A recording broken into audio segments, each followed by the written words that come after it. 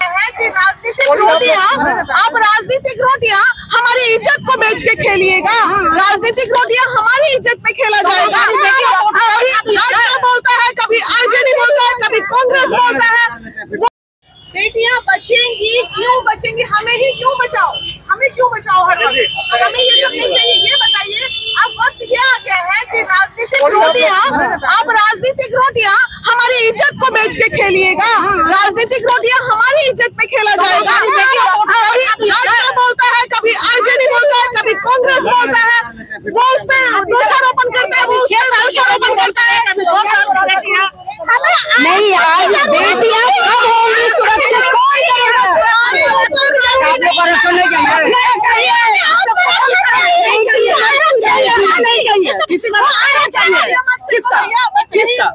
आरक्षण किस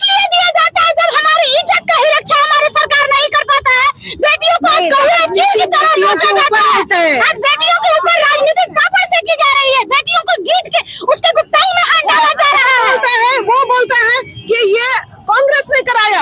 फलाना बोलता है भाजपा ने कराया। किसी ने कराया। हमारी बेटी को बेटी मरी। और जन्म लेता है उसी कोई पार्टी कोई भी पार्टी हो हमारी बेटी जन्म लेने से डरेगी कि हम ये बेटी जन्म ले बिल्कुल हमारी बेटी जन्म नहीं ले मोदी जी का नारा है बेटी पढ़ाओ बेटी बचाओ। मोदी जी का नारा है मोदी जी का नारा है बेटी का रेप करो और बेटी का इज़्ज़त पर लगाओ और लोगों के सामने दे दो घुमाने के लिए नचाने के लिए नचनिया बना दो बेटी को रेप करो और बेटी को राजनीतिक करो देश की एक बेटी को नहीं किया गया है। दो बेटी को नहीं समझ लीजिए कि समाज के पूरे बेटियों को दिया किया गया है। जितनी भी माए हैं जितने भी मर्द चले जाते हैं। माँ के प्यार में रखा जाएगा।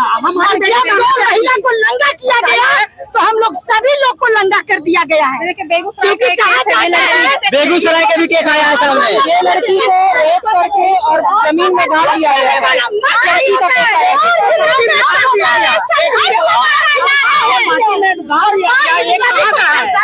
मोदी जी को नहीं सुन रहा है। बराबर बोलिए। हम लोग आँख में नहीं दिखा। आक्रोशित है। आज हमारी राष्ट्रीय संरक्षक सीमा मानवी मैम आज मौन धारण की है और उनका ये कहना है कि आप लोग आक्रोश दिखाइए, मैं इस निष्ठा को देखते हुए मौन धारण कर रही हूँ। आज हमारी बिना मानवी मैम अगर ये मौन आंदोलन निकाली है तो ये सोच कर निकाली है कि बहुत आवाज़ लगा लिए, बहुत नारा लगा लिए। अब देख लीजिए सरकार कि आज हम लोग महिलाएँ कितने जीता है। आज दो जगह पे इस समय हम कोर्ट से आ रहे हैं? बैग लीजिए अपना। अभी इस समय हम कोर्ट से आ रहे हैं? हम ऐसा तो मेरी सरकार में